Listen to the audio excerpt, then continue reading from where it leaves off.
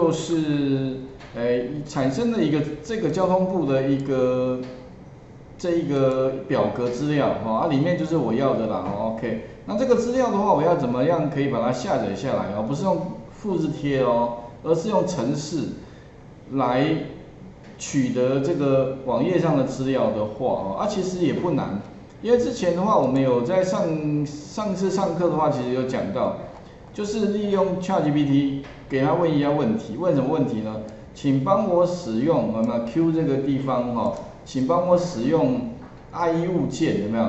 撰写 VBA 程式，将网址冒号那，后面这个网址啊，其实如果你假设要针对诶今天我们写的程式哦，嗯，就是今天的这个需求产生程式的话，那其实只要把这个网址改成你刚刚产生的。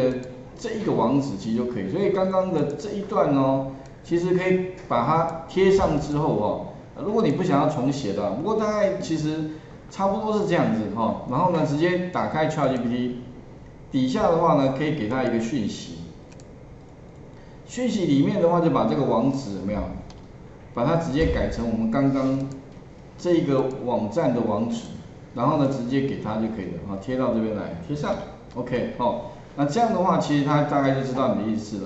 那主要我是希望哦写一个 VBA 程式啦，不过 有指定就是用 IE 物件。当然你也可以不要使用 IE 物件啊，只是说写法可能会有不太一样。这个我想你们也可以，如果有有时间有兴趣同学啊，你也可以试试看。那最后是希望输出到哪里？输出到 Excel 当中，OK 哈。所以哦，这个。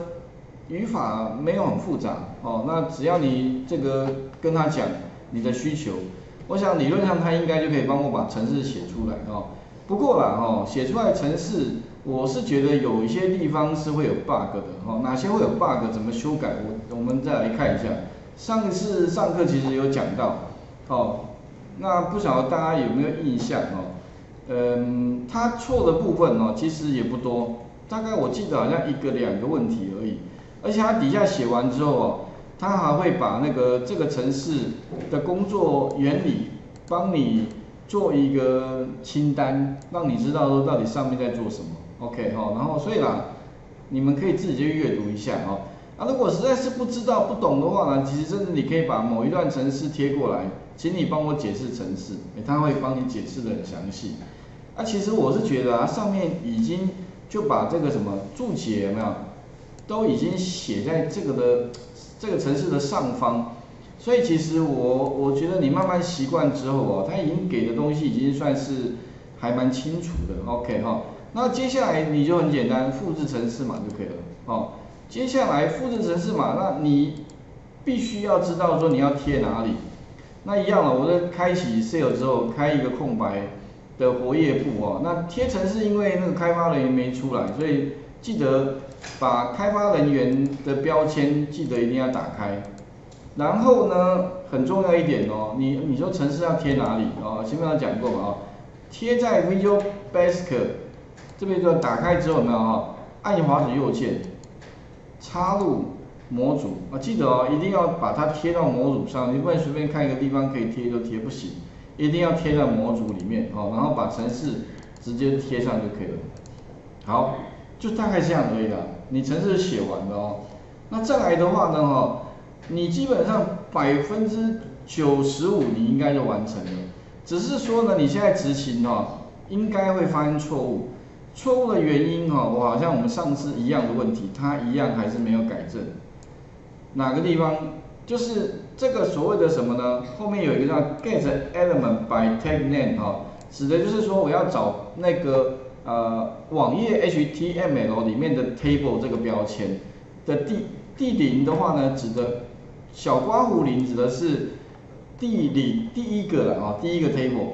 可是我们之前有算过，好像它不是第一个，它应该是第二个才对哦。所以呢，这个程式如果执行错误的话哦，或者是抓没有抓到东西，很简单，你只要把这个零改成一，好像就可以。我先执行它原来的程式看看，会有 bug。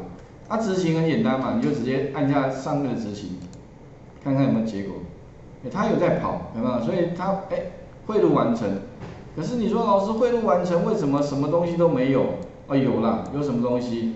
看一下哈，这个东，哎，这个不是我要的啊，单位冒号人次有没有？然后还有什么？哎，国人出国人数按目的，然后表格数冒号一，哎，你说这个是什么东西哦？有的时候你其实可以切回到刚刚的这个网页，你大概就可以知道。有没有发现？它其实是抓什么？抓这个东西的。那这个东西实际上就是刚好是第一个表格。哦，OK。那你说老师，它明明不是一个表格啦。其实我跟各位讲，有些时候啊，网页里面的表格哦，除了可以拿来放表格资料之外，有的时候会拿来当标题，或者拿来排版。那上面这个其实就是它拿来做什么？拿来做一个放那个标题的哈。OK。好，那所以。抓错了怎么办？没关系嘛，你说这个是第零个，对不对哈？那如果假设你要让它往下的话，你就把它加一不就好了？加一的话，那所以哦，我刚刚讲的，你改的地方哦，其实就是把这边改动一下，改成一就可以了。哎，所以其他贴上之后，什么地方都没改哦，只有呢改了这个地方，哦，啊其他我都没，我把它重新开一个新的工作表了哈，然后再让它 run 一下，看结果对不对？执行一下。汇入成功，哎，怎么什么都没有？再弄一下。啊？第一页。工作表一。对，我看一下第一页啊，第一页有了，哎，它为什么不指？我看一下，它城市应该有指定放哪一个吧？嗯，啊，序则一的，所以它这边的话哦，已经。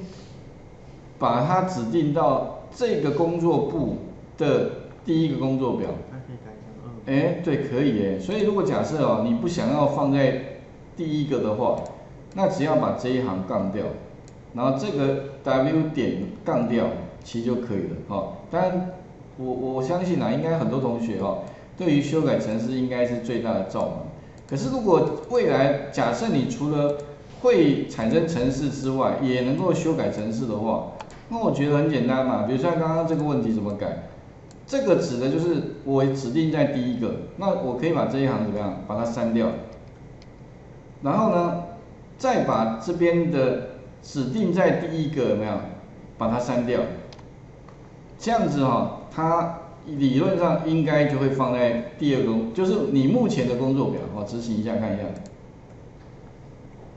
哎有没有？所以呢？这个时候的话，它就不会强制放第一个，放第二个也没关系了。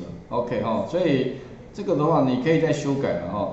那请各位试试看好了，如果我今天想要写一个程式，是希望能够把我们刚刚从那个什么交通部的统计查询网上面的这一个表格资料，把它下载下来的话，那我其实是先开 ChatGPT，给他一个一个问题。哎，这个问题的话，其实我有把它放在这个云端，就像上一次上课的这个啦，这个问题哦，然后只是差别是把网址哦改成我们刚刚那个网址哦，然后他就会给我答案啊，请各位先试一下哦。